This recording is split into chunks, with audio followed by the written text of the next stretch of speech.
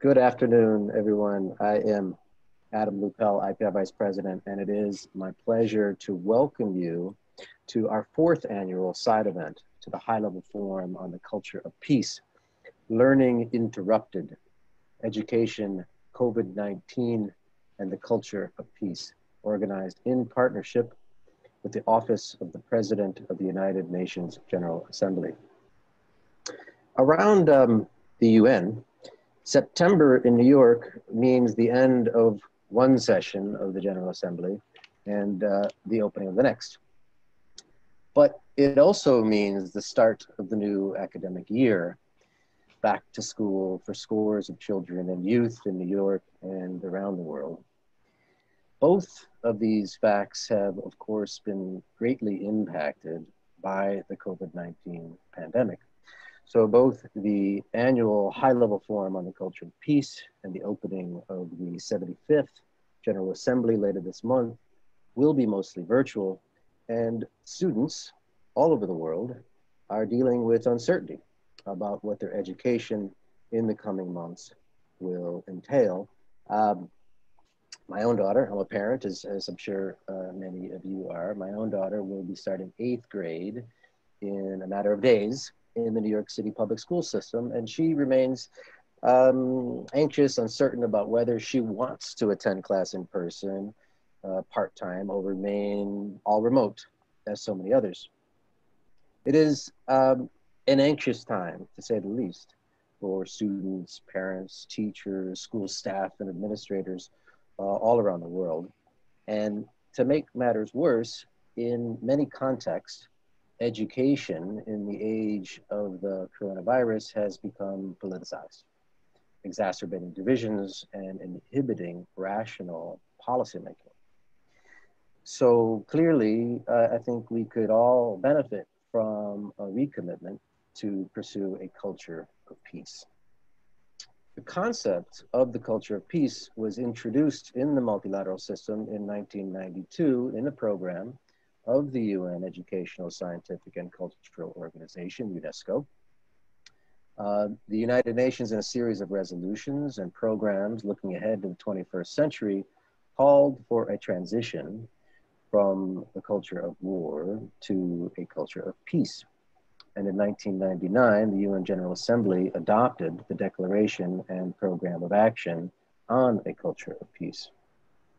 Much like the holistic nature of the 2030 Agenda for Sustainable Development, the Program of Action adopted by the General Assembly in 1999 identified eight pillars of the culture of peace that are interrelated and interdependent, and education was first among them, acknowledging that achieving peace requires not just preventing violence, but also supporting the structures, attitudes, and institutions that underpin a sustainable, peaceful environment.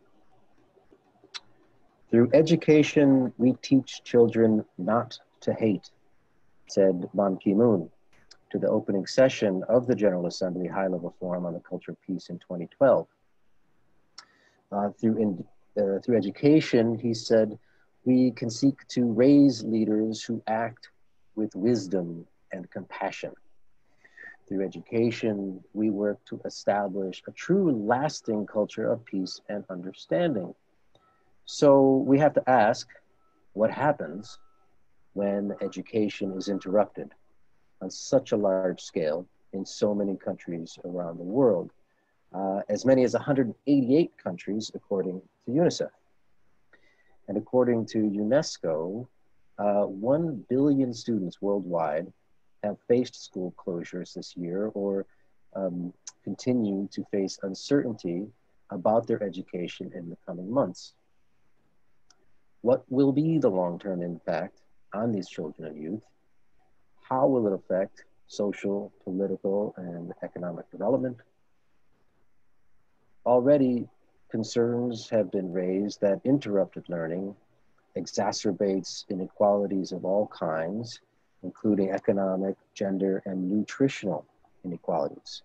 So, what can we do to mitigate these risks? We have a uh, great panel to discuss all of this.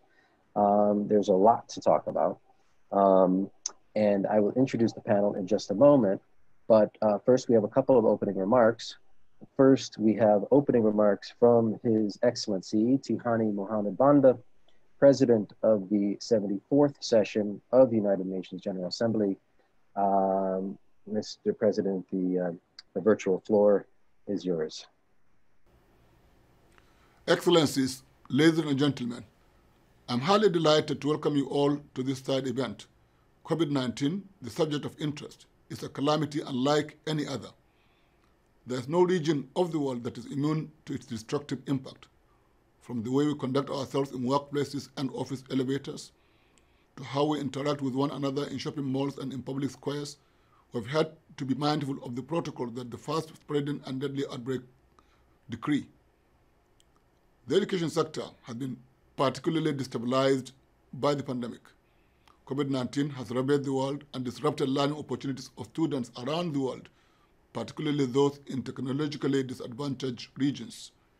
Even before the onset of COVID 19, the world was faced with a learning crisis.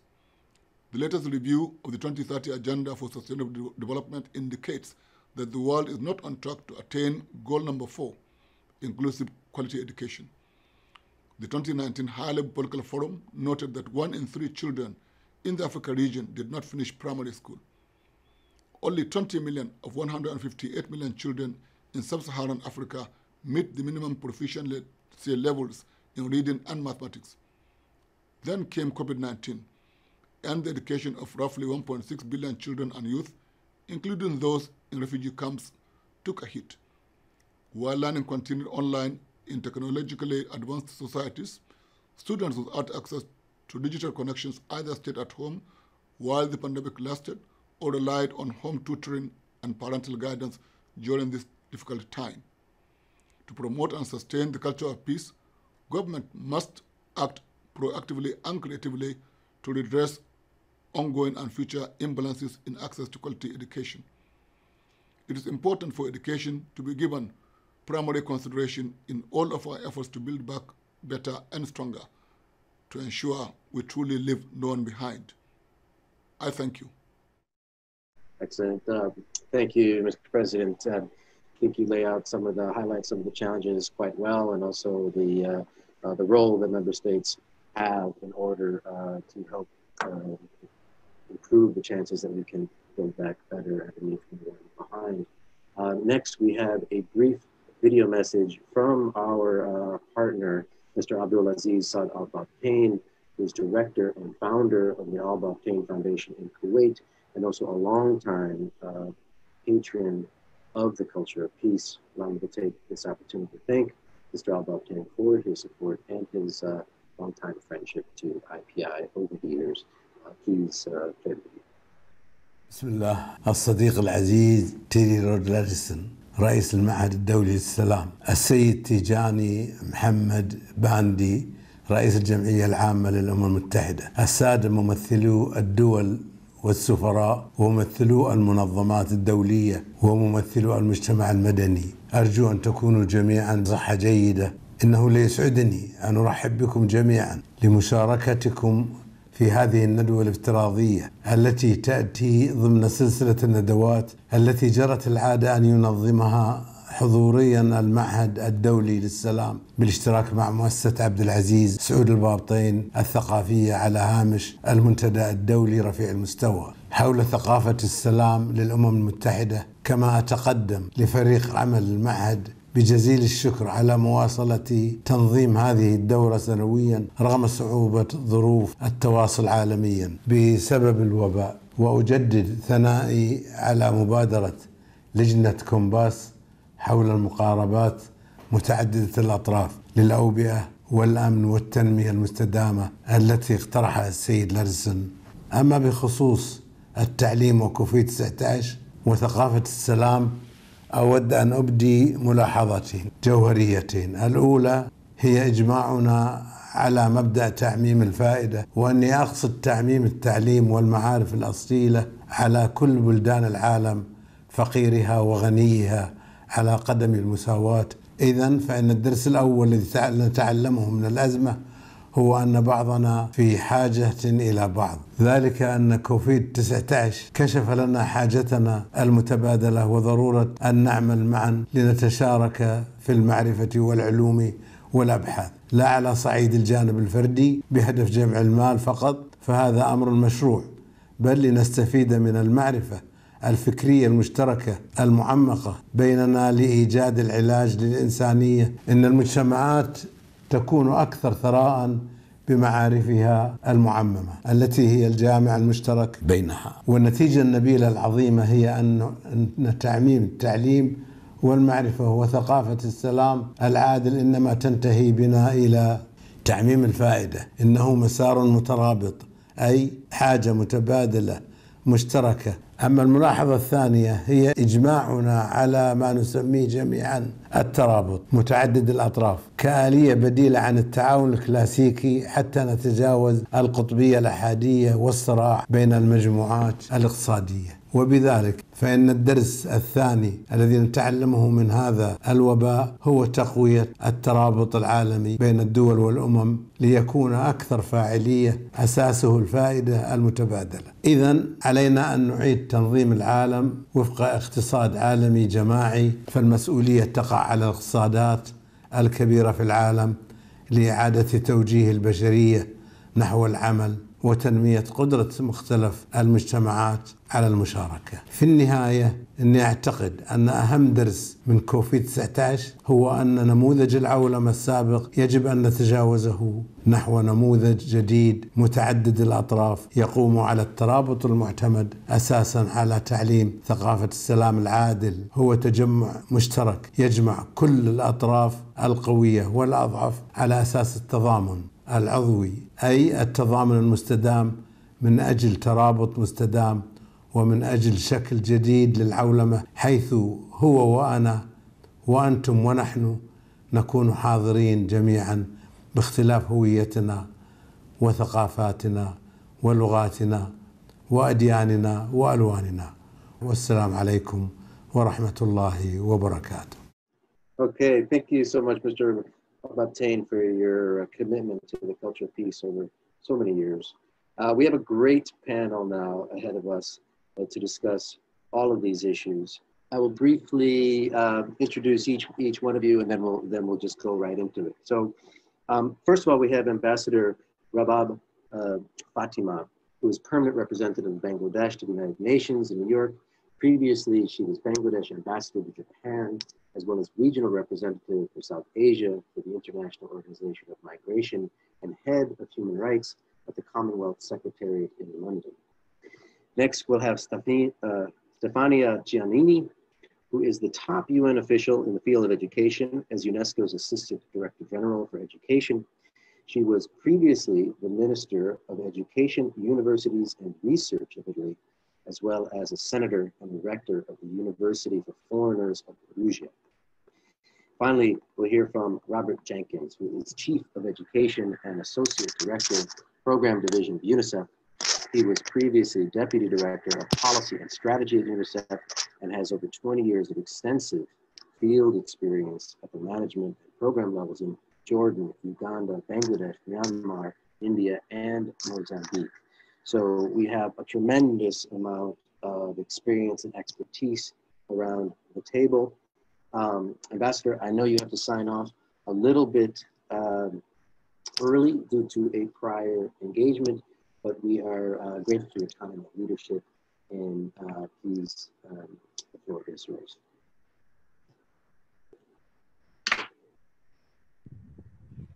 Thank you. Thank you, Mr. Lupel. And my apologies right at the outset that, you know, I may have to leave early because I've got another engagement that I have to attend to, but my colleagues will be here. So if there is anything that comes up, they'll be, you know, more than, um, you know, I'm sure they will be able to uh, respond to those. Um, President of the General Assembly, Vice President Adam Lupel, distinguished fellow panelists, Ms. Giannini and Mr. Jenkins, uh, distinguished guests and dear friends, it gives me great pleasure to join you all today, and I thank IPI for giving me this opportunity to share a few thoughts.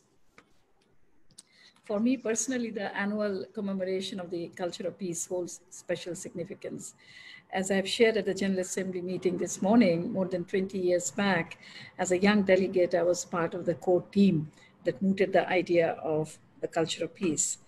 It is indeed heartening to see today uh, the notion not only having emerged as a dominant theme at the UN, but also embraced by the wider international community especially with the NGOs and the CSOs like IPI, uh, the GM COP, uh, partnering, uh, the movement on a culture of peace and nonviolence has not only got stronger and mainstreamed in the discourse of, uh, has got only stronger uh, and mainstream in the discourse of any global crisis. And I thank IPI for championing the cause of the culture of peace.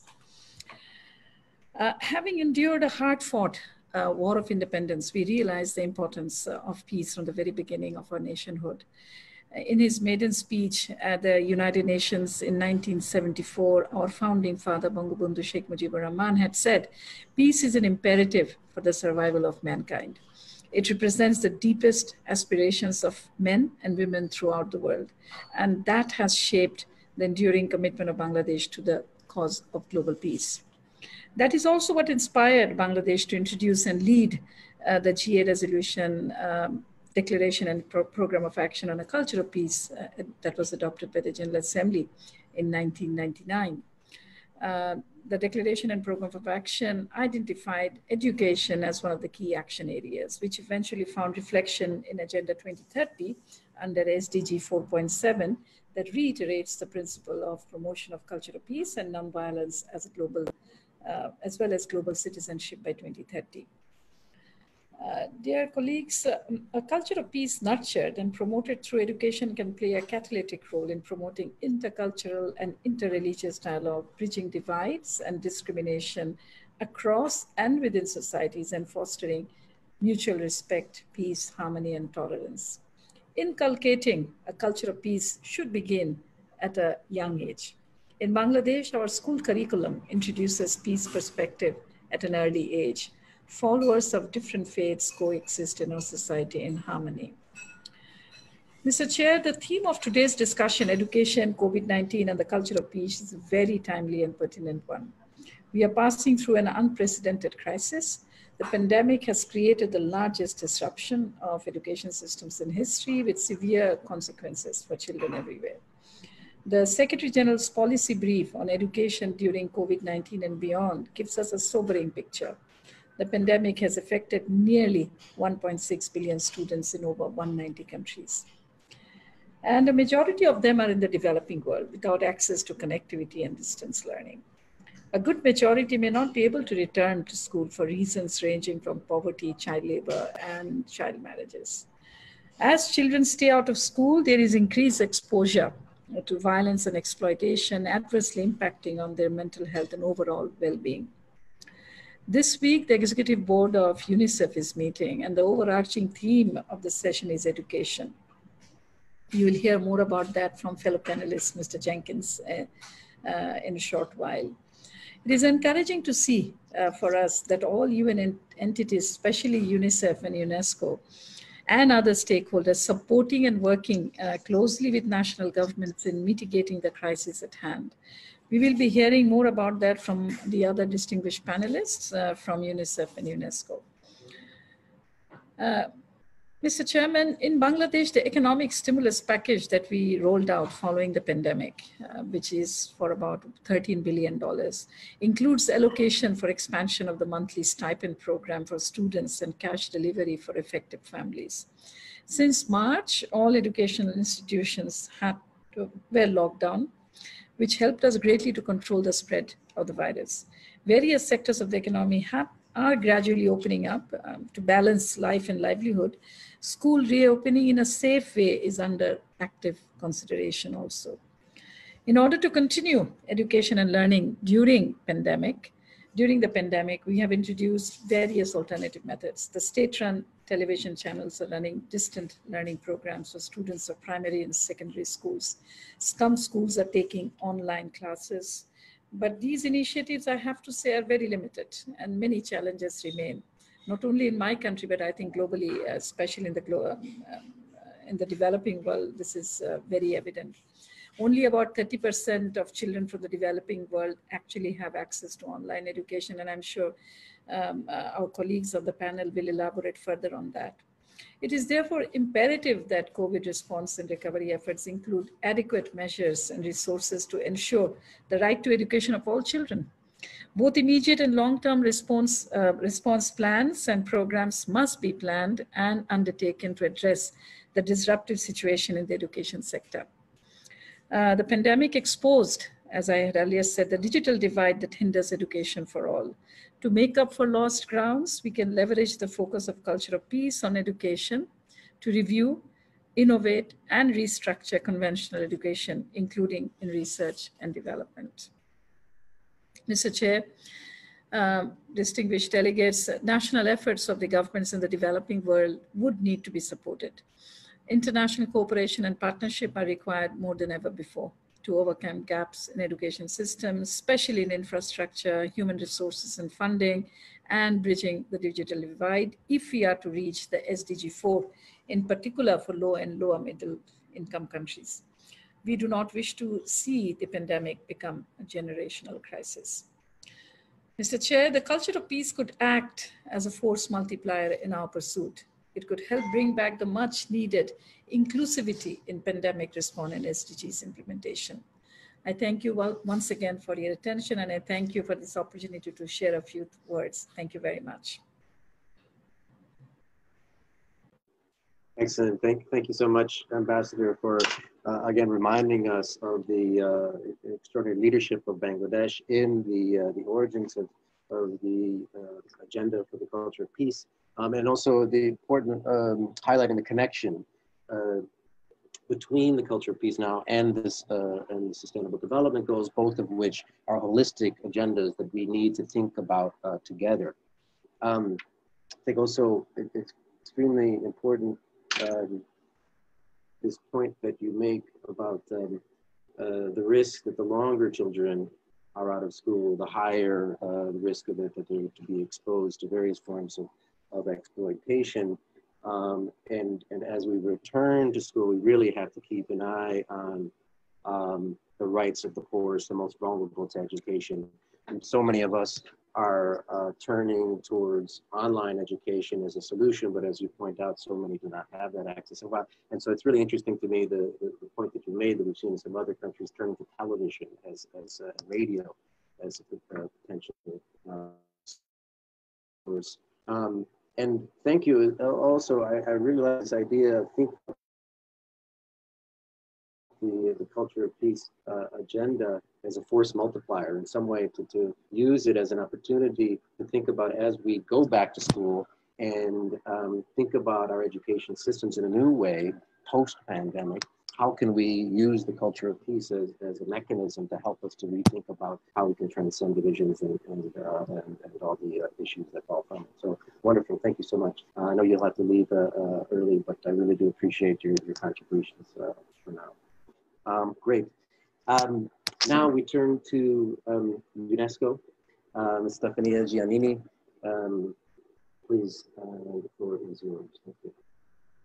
Thank you. Thank you very much, uh, uh, Adam.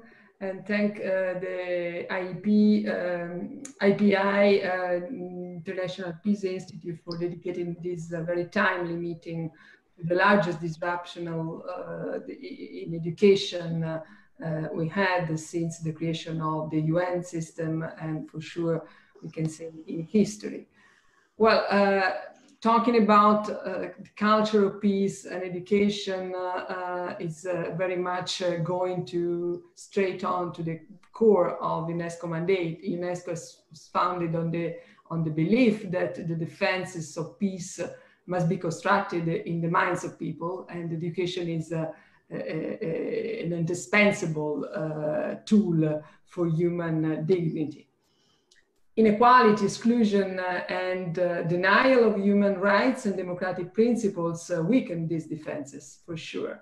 And uh, the COVID-19 crisis uh, has exposed uh, our interdependences and fragility to an unforeseen degree.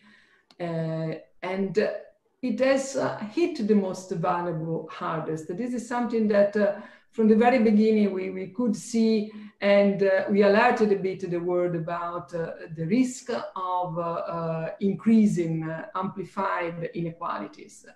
as interrupting education because of poverty, disability, family circumstances, or lack of access to technology, something that has been already suffering in many regions of the world. So our global education monitoring report, uh, uh recently published uh, this year uh, within the COVID pandemic, estimates that 40% of poorest countries uh, failed to provide specific support to disadvantaged learners during the pandemic. And it has exposed children to increased levels of violence and driven home the critical role that schools play in providing social protection uh, we realize definitely that schools are, are not simply and crucially uh, places where we learn, but uh, very much more than this. Places where there is a social protection, there is the nutrition, there is health, and there is a social uh, first relationship with the rest of the world outside the family. So the pandemic has uh, unleashed a wave of fake news this is another dimension we have to underline hate speech, uh, xenophobia, and everything has been amplified on social media networks. At the same time, uh, this crisis has revealed also uh, some admirable acts of solidarity. I should say that solidarity can consider one of the key words on the red line of the process we are running uh, on the part of uh, uh, individuals from all walks of life who invented ways to break isolation and, and somehow meet basic human needs. And, and we have also witnessed the, the, the, power of governments, uh, uh, the resourcefulness of governments, uh, communities, teachers first to find uh, creative solutions uh, almost overnight, jumping from the traditional classroom to the virtual ones uh, in order to ensure learning continuity. I should say that uh, the, the, the, the, main purpose of us as UNESCO, but all our community, uh, I'm sure uh, Rob Jenkins will take point back in his speech, was from the very beginning assuring learning continuity to all children in the world. Now we are entering uh, in, a, in, a, in a second phase, uh, the so-called new normal, uh, one that has uh, basically to bridge the fault lines that uh, have widened during this pandemic, be it economic, social, or digital. And nearly now 24 million additional children and youth from pre-primary, preschooling to university level are at risk of uh, dropout this year in 2020 due to the pandemic's economic impact alone. The economic shock associated with the COVID-19 crisis will be a huge one, significantly the largest than uh, we could we saw uh, uh, of the of the financial crisis of 2008-9 and fiscal pressures uh, could uh, could lead to decline in uh, education budgets at a time when uh, more resources are required to make schools uh, safe, to address learning losses, to support teachers. this is a, the, the big chapter of reopening safe. And our responsibility now as an international community is really to avert what the Secretary General uh, just defined a generational catastrophe, the risk of a generational catastrophe we have in face of us. And uh, schools are reopening, but out of the um, 900 million students who are supposed to start now in the coming in the coming weeks uh, or this week as well in many countries, the, a new academic year between August and mid-October, only half uh, of them have assurances uh, they can return to full-time in-person classes. And hundreds of millions of learners will begin their new school year at home exclusively or through a hybrid model, which is a solution already put in practice in many countries. So however education happens, it has to happen on grounds that are more inclusive, caring, and geared to ensuring that learning carries value. The question of value, the question that uh, we have to relaunch the mission of the 4.7 that uh, Madam Ambassador already mentioned uh, is really very much uh, to be put uh, at the very core of the recovery policy in education, building back better. And this crisis provides also an opportunity, an opportunity to reimagine education, an opportunity to build more resilient education systems that respect diversity and work for all. Cultural diversity for us is a critical point, and I think that we have the opportunity to, to push on that. Then a culture of peace is uh, intimately linked to a culture of inclusion. Uh, and this is the starting points for educational recovery, uh, pulling all this, the stops to ensure that the most marginalized children, uh, the youth, return to school and learn in safe environments with special attention to girls, with special attention to refugees and conflict situations. Already before this crisis, close to half the student population was disengaged from learning. We, we know numbers, I'm going to repeat today. Not acquiring fundamental uh, and basic skills uh, after several years of schooling.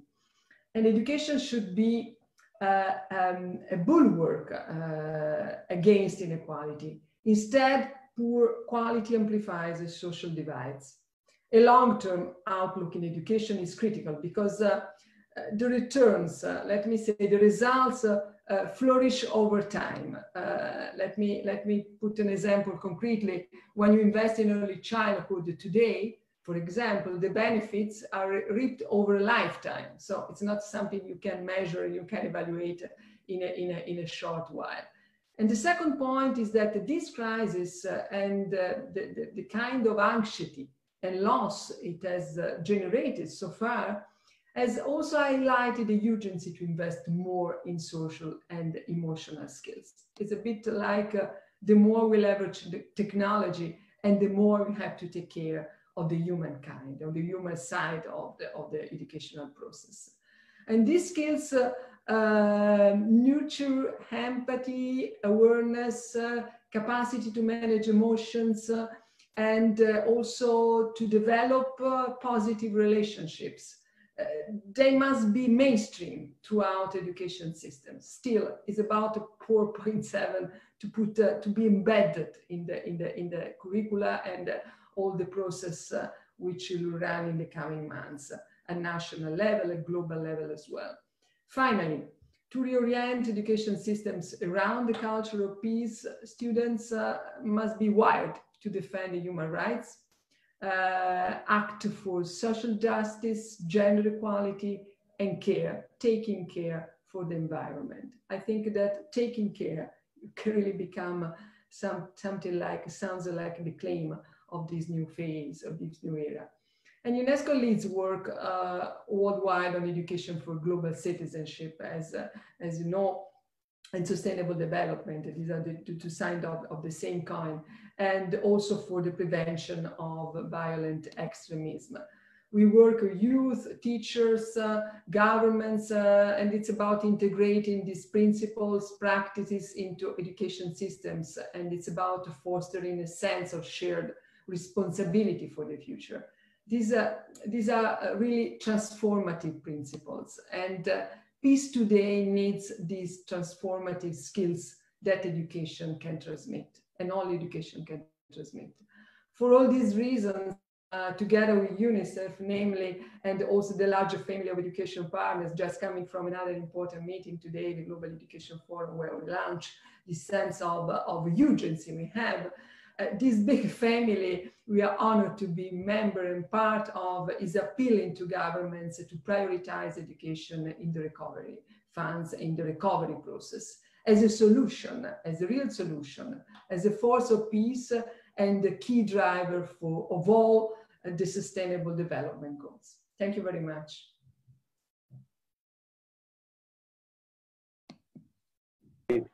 Thank you, Stefania. It's really, really, there's a lot, a lot there. I think as you as you begin to lay out some of the challenges, I think it occurs to me something that we've been uh, talking about is that COVID-19 has has proven to be a stress test for all kinds of systems and institutions uh, throughout the world, and, and education is, is, one of them, but also just simply governance in the state and how we provide for those those most um, uh, vulnerable. Um, but I think it's it's it's nice that you mentioned also that that it has produced uh, certain spirits of solidarity. I mean, you see a lot of, uh, of people coming together as well to, to try to try to help, but it, the, the problem is so is so large. It's, it's difficult for that to fill fill the gap. Um, but most important, I think, is this is this point that you make that we're sort of entering into now this this second phase. The, the, the, the risks that we've been focused on so much up to now is, is the risks of closure, that because of, of COVID-19 schools, schools have closed. Um, but now we're, we're dealing with the challenges of safely reopening and, and what, what specific challenges do those um, present. And something that comes to my mind is something that we've been discussing at IPI um, around COVID-19 is, is the extent that which if, you know, if at the beginning of this crisis, everyone was very focused on the meta on the medical issues, um, and um, but that is a crisis. It's ballooning out into concentric circles to, to impact so many other different areas. And if we might say, as a vaccine is on the horizon, we're, we're maybe near the end of the, of the beginning of this crisis. We're, we're nowhere near the beginning of the end. And in part, that's because it's having ripple effects. And so you mentioned, yes, uh, we're, we're now looking to reopen, but it's not just about uh, reopening in a safe way, it's also about reopening in a sufficient way at a time when, because of the economic impacts, you have fiscal crises that have the risk of reducing education budgets.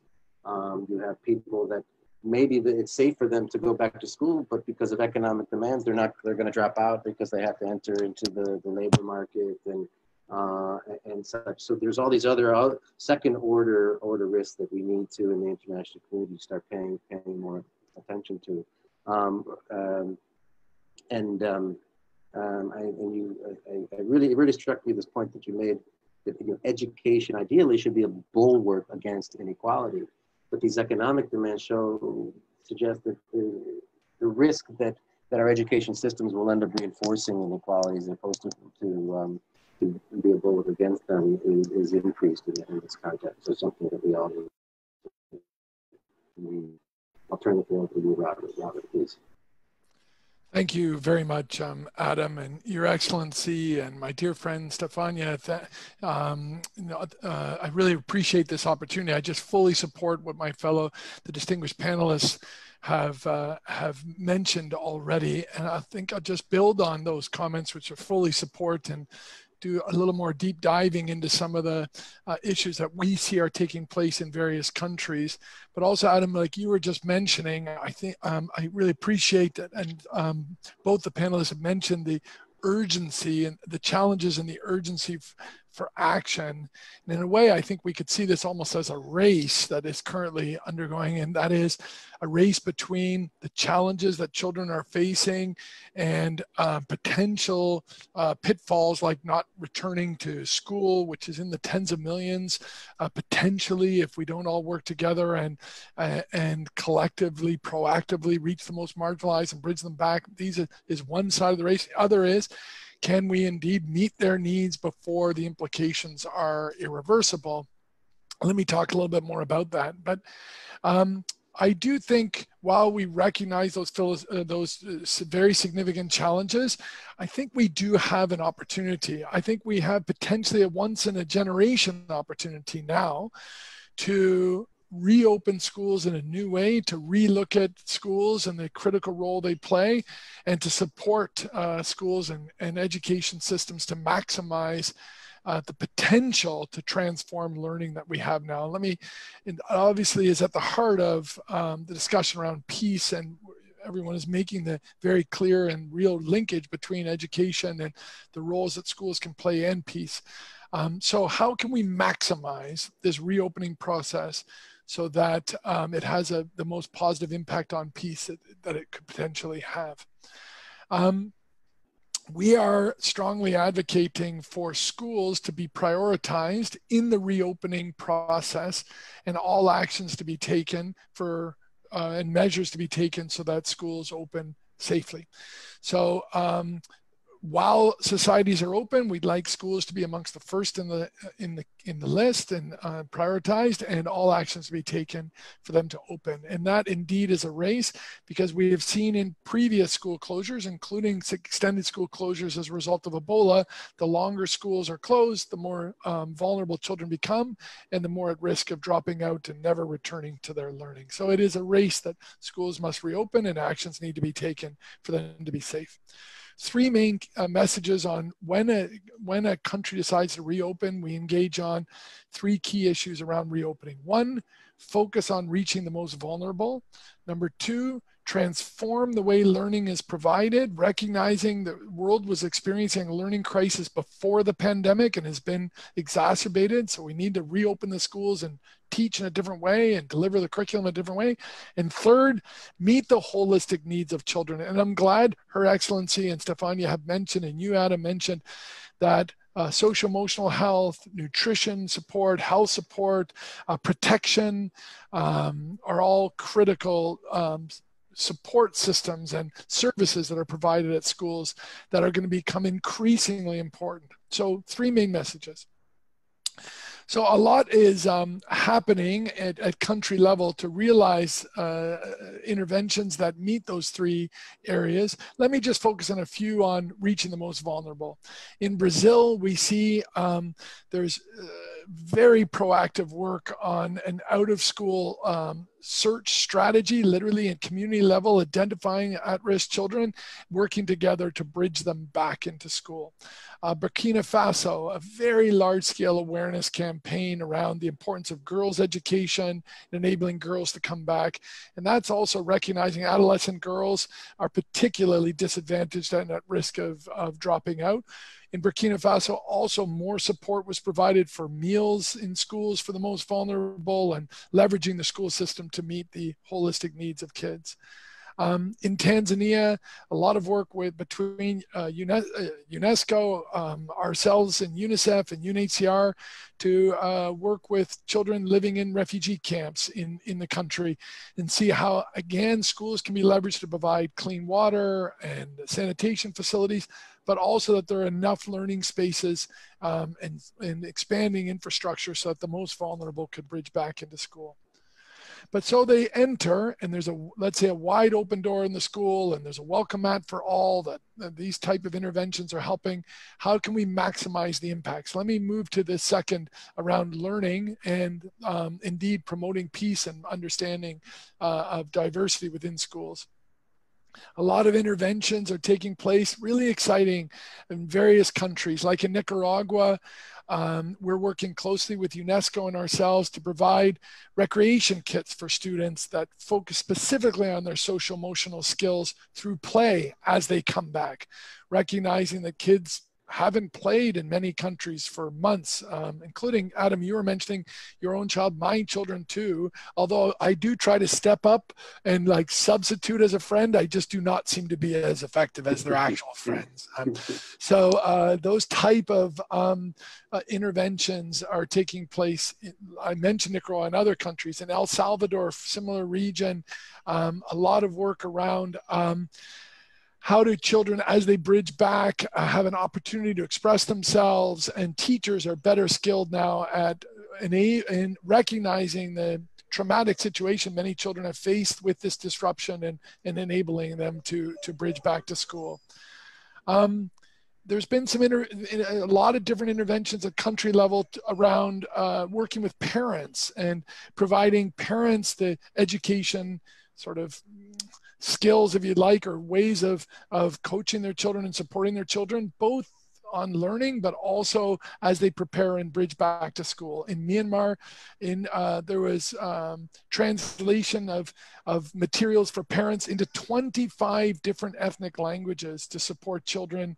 Uh, to, sorry, to support parents to support children as they come back um, to school, including with the all um, all sort of pervasive now levels of stress that children are facing. And actually, I saw an interesting statistic this morning for the first time, uh, based on a partner that we work with in the Middle East, that 80% of children in four countries in the Middle East that are that are in challenging situation. I served there just before this position 80% of children rank uh, the COVID 19 as their number one concern at the moment. And these are children that are living in, in often in living in very challenging search, uh, circumstances. Refugees were uh, a key part of that cohort that was interviewed. And it just goes to show that um, children are indeed facing very real stress and schools need to be leveraged to, uh, to deal with, with that. Um, and again, interventions are taking place let me just wrap up by uh, by saying I think, and Stefania, uh, I know speaks to this uh, very uh, frequently also, but the importance of reimagining education, and she's mentioned it now, and this disruption gives us an opportunity to indeed not i do feel there's been an increased recognition of the importance of schools that play in communities by parents by decision makers I also think there's a recognition that as the schools were closed and now are reopening, we have a we have an opportunity to reimagine how that front door is open in a school and what happens behind that door. And um, I fear that if we do not, and the challenges you've mentioned, uh, Adam and Stefania mentioned also around financing, if we can't overcome issues like ensuring adequate resources for the reopening process, but also for the transformation over the short, medium, and long term that is now required um, due to understandably the contracted uh, economies, the pre fiscal pressure that the governments are facing. But we are all, at least in the education sector, we are all kind of hands on deck, re-emphasizing the importance of that. Um, I have an ill pet too, so that's what you're hearing in the background. But I'm just going to, uh, I'll end there um, and thank you uh, very much for the opportunity. I look forward to the continued discussion. Great, thank you, Robert. No, that's that's super super helpful, and I think that you you provide some really concrete examples there, um, um, delivering on your your three messages on focus need to focus on the most vulnerable, uh, opportunities tra to transform learning, and the need to meet the holistic needs of, of students in this context. I think that's a really really helpful way to frame it, and, and really concrete uh, examples from Brazil, Burkina Faso, Tanzania, Nicaragua, El Salvador, Myanmar. The, the, point in Myanmar, by the way, I think was is really interesting in um, in how you frame it. The, the need to support parents to support children. Um, but I say it's a good segue because we got we we got a few questions in. One of them is uh, uh, is from a, a, a mother from Brooklyn, Meema Spadola, Brooklyn, New York and I and I say it's a it's a segue to me because, um, you know, at IPI we talk about international issues, and this is a this is this is a global issue. But of course, you know, I've come to this this con- this conversation as a parent with very a very local prism, and way too often, I think in the developed world, we we think of we're providing lessons for for abroad. Um, and uh, Ms. Spadola asks, um, kind of turns it around. She asks, she says, here in New York City, uh, nearly three quarters of our public school students live in poverty, with schools switching to remote learning last year, and now students are able to choose between partial in-school attendance or remote. What lessons does the work of UNICEF and UNESCO internationally provide uh, to help us in New York understand how we can best attend to our, our most at-risk students? Um, and uh, um, and one, if I could just answer one question based upon what you said about Myanmar, as a parent, I could, I would say, you know, parents could use a lot, a lot more, uh, a lot more help. Um, but, but maybe to, to each of you, is there, in, in your experience in UNESCO and UNICEF, how, how do you see those lessons that you are um, learning in in more fragile context uh, applicable in uh, in the developed developing world. I mean, the developed world, or in um, in the U.S., Europe, and elsewhere. Stefani, do you want to do you want to jump in there, or yeah? Thank you. Just, just briefly, uh, I mean, uh, just reflecting a bit uh, on the difference between these these crises and mm. unprecedented uh, pandemic or, you know, big uh, events which had already a, a strong impact uh, on education, for instance, the Ebola crisis, no? which affected some countries in the sub-Saharan region and uh, dropout girls especially was one of the clear, already uh, well quantified consequences. But now I think uh, the, the, real uh, big difference of this crisis, it is the first time that globally, from the north to the south, every single citizen realized the importance of schools, the importance of, uh, uh, and, and the fragility of the system. I mean, because uh, overnight, uh, globally, uh, school system had shut down. Uh, we, we, we started to monitor at the end of March, and in a few days, the peak reached 1.6 billion students. So the first lesson is that facing a real global challenge, there is a need of uh, uh, sharing practices to, uh, you know, build this, uh, I, I, mentioned solidarity. Solidarity means completely to build a platform where not only the international organizations as provider of uh, and supporters uh, uh, of giving uh, solutions to governments, but all you know ministers, the, the, the community of educators could find a new way of working together and facing the same challenge from this perspective. So I think these, these two lessons have been already learned. And uh, I hope that, and this is very much about linked to the question of uh, also the mission of the IPI. I mean, the, the question that uh, through education, uh, by education, is possible to build another kind of uh, relationship between uh, uh, between countries, also not to be simply be between individuals. So I, I, hope that this is a turning point that uh, will not allow us to go back to, to, to the past.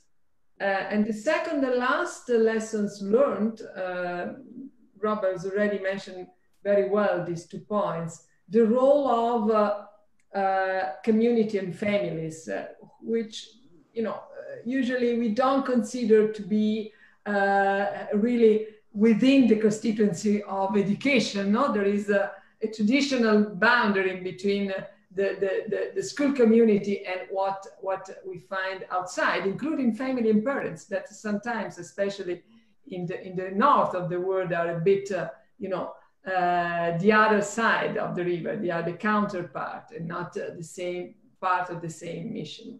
And we learned that uh, parents, families, communities have a strong role uh, in, uh, in educational process. And I think that it's another very important uh, legacy we don't have to, to, to lose.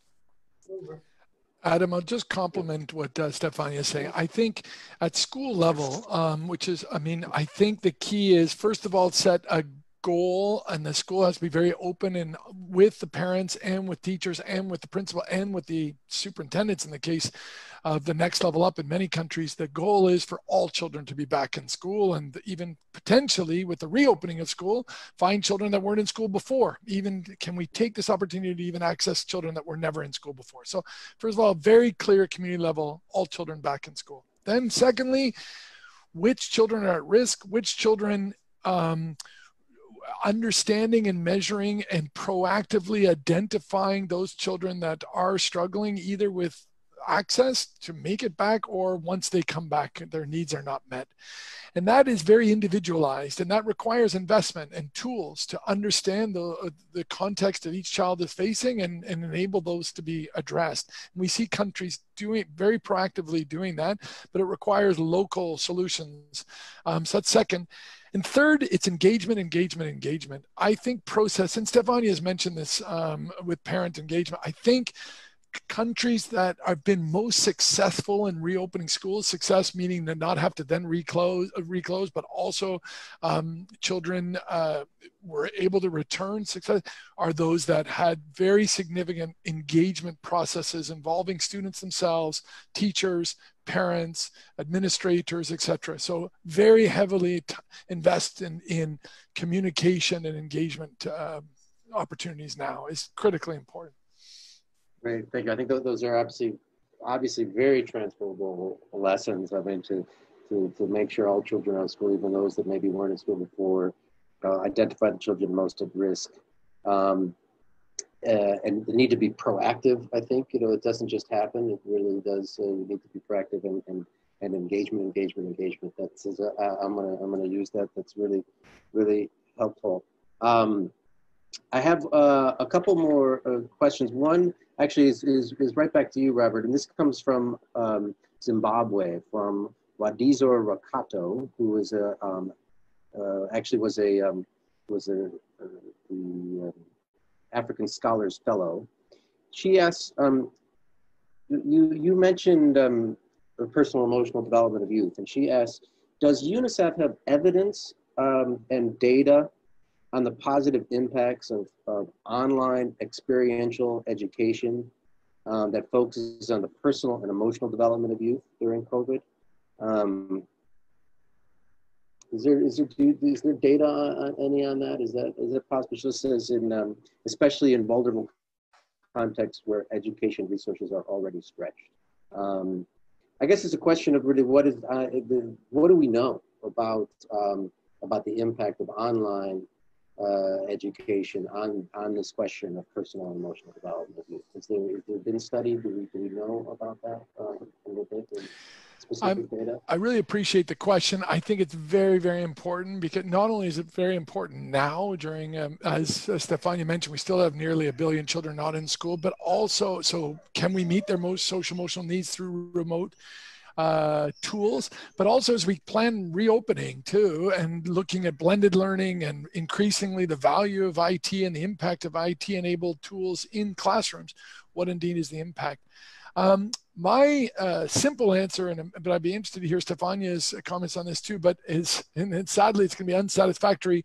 The evidence is mixed, and it's mixed because it depends on the tool, it depends on the context, and I think it's almost an unfair question to try and isolate the specific impact of an IT-enabled tool on the social emotional um, needs and well-being of children, recognizing that that's a much broader. Um, I mean the, the how children can be social emotionally healthy um, is going to relate to many more things beyond just their um, IT enabled tool. Now, having said that, there are some very exciting innovations that are IT enabled that do indeed contribute and target social emotional health and successfully there's some evidence that shows that they can successfully have a positive impact.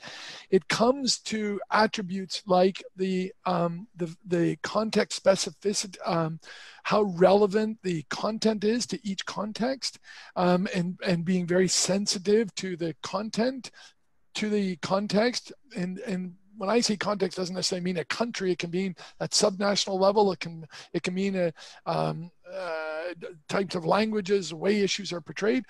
It's also um, more tools that are more interactive than one way. And maybe that's stating the obvious, but still many IT-enabled tools are relatively um, top down, relatively supply oriented. So those that enable interaction, enable questioning, enable engagement are more effective. Um, those are what is my understanding of, of the evidence to date. I hope that's helpful. Yeah, no, that's helpful. Of course, then it raises the issue, as we talked earlier, that one of the solutions for the lack of access to online is, of course, to use radio and TV, which is not interactive. Right? Um, uh, but it's it's uh, damned if you do, you're damned if you don't. Somewhere. I do just um, want to come back yeah. to the radio for one second. Yeah, and yeah, Stefania, sure, you've heard this fade before, but we had some fun, very interesting data from a country in West Africa that that based on a not a huge survey, but it's somewhat representative that said children, um, younger children that were that were learning using the radio found it more personalized than the teaching they were receiving in their school. And the logic I think there being is a very high quality programming with teaching uh, like on and because it was from the radio and it seemed very personalized if done very well i think it can be felt like the teacher is speaking directly to you. But it's obviously not it's maybe somewhat individual or you feel it is but it's obviously not interactive. But it was it was a fascinating uh, sort of mm-hmm. indication of what's possible even through the radio great. Stefania, I want to get you in here and you can respond to some of this, but also we've got one, uh, um, Mr. Rukato of Zimbabwe also has a specific question for you as well um, on peace education. You, you mentioned uh, uh principle of solidarity and also the, the education as a tool to bridge divisions. She asked, what, what specific strategies can be applied for better embedding this kind of approach um, as we rethink uh, education, um, as we reopen schools and such? Do, do, what, what sort of specific strategies does UNESCO apply to that? I think that uh, the point I, I, I, summarize a bit to touch upon uh, in, in, my presentation uh, the the two sides of 4.7 just to, to, to go back to the target of uh, of uh, one of the, the target of uh, of SDG 4 uh, is really very much about uh, developing uh, more and better than in the past these two, two, two dimensions global citizenship and education for sustainable development and this is about um, curriculum uh, uh, developing. It's about uh, prioritizing these topics in, term of in terms of content, I mean, at curriculum level, but it's also about, let me say, just looking at, at the lessons already learned in this crisis, taking the opportunity of, you know, valorize and optimize in some kind of uh, new uh, new social uh, uh networks uh, and uh, and uh, valorizing the, these these uh, solutions that uh, beyond technologies uh, students uh, uh, and teachers had discovered as, as, as their own tools in order to face the challenge of not being able to, to, to, to, to see each other, to live in a physical classroom. So it's not only about uh, uh, content and uh, curriculum development, which is a very important strategy that UNESCO and, and and uh, is, is, is running uh, since uh, the, the launching of the of the 2030 agenda, but it's part, as I said, uh, uh, of the core mandate of UNESCO since the establishment of the organization. But now it's really very much about the how. It's very much about uh, Uh, methodologies and uh, compensating a bit uh, these social phys physical distancing with not social distances, but a new kind of a social uh, networking. And I think that, for instance, uh, the way some teachers uh, organize the virtual classroom is a very interesting one.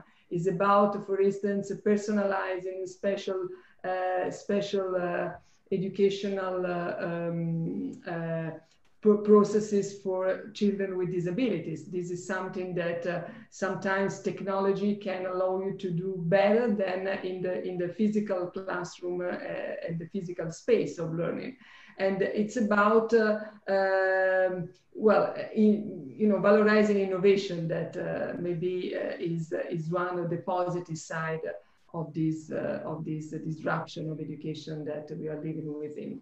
And I think that on this basis, uh, still, if we can uh, convince in the near future, in the coming weeks, political leaders to prioritize education as a public sector and then invest in uh, funds on, on that or on innovation, not only reopening in terms of uh, giving uh, resources to, to, to, to, to open doors of schools, but to, to see what uh, behind the doors will be uh, rethought, reimagined, and, and uh, developed to, uh, differently.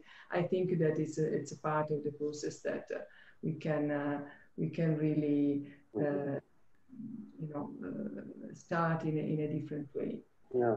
Um, we only have a few more minutes. I mean, I feel like we could we could talk a lot about so much of this, but I've got sort of two questions here um, that I that if I'll just sort of paraphrase them in, into a question. They're, they're, sort of comments, but they're similarly related. One is from from Tunisia, from uh, Raouf Riahi, and one is from Jude Nibu, but I don't think he says where he's from. But they both have similar questions about um, what I would call the, the urban-rural divide. That part of the part of the, the, the, problem is is that many many governments education systems are uh, centralized, um, and the needs of urban students and rural students are, are, are, so different.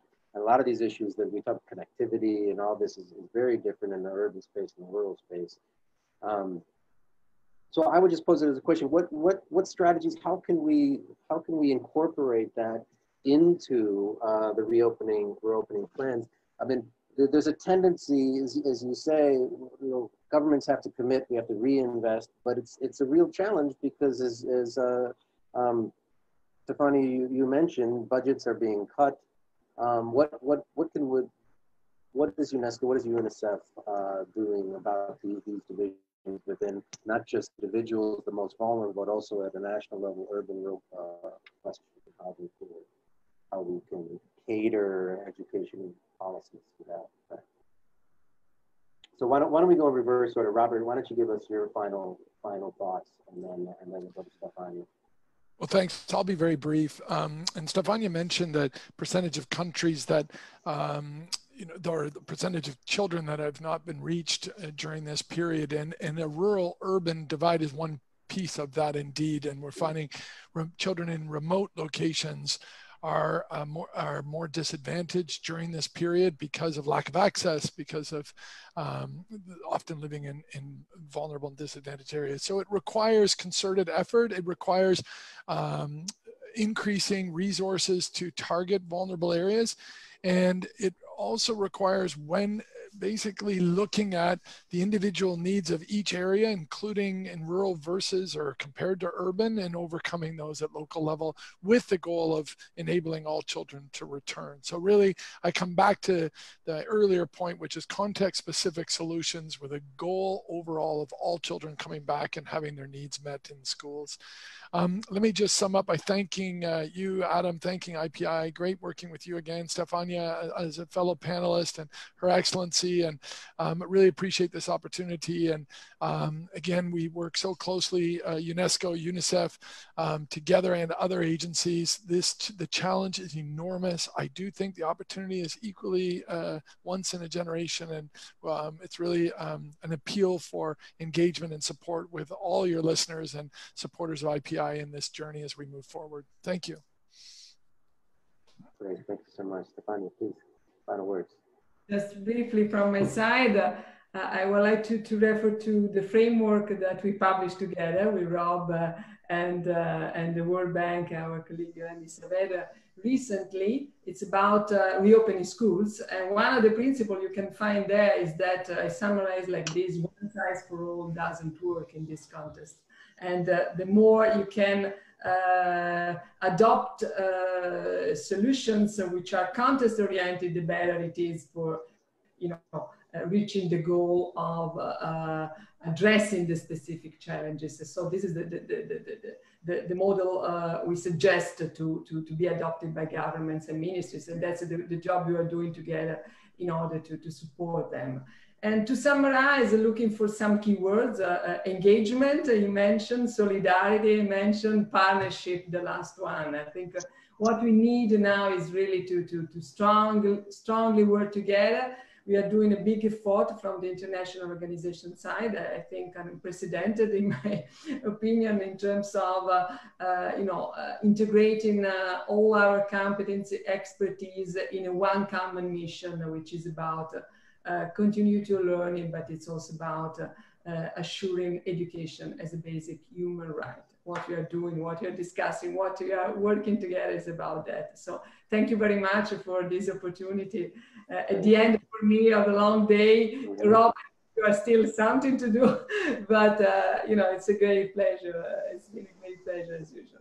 Wonderful. Thank you so much. Really, really been uh, a really fascinating conversation that I feel we could we can continue on. And I think one of the things, one of the take, the takeaway that I uh, grabbed from this conversation is, is that the, the challenges are tremendous. I had said in my opening, 1 billion students, you said 1.6 billion. It just, it just grows. And there really is this, this real risk of this becoming a generational uh, issue problem.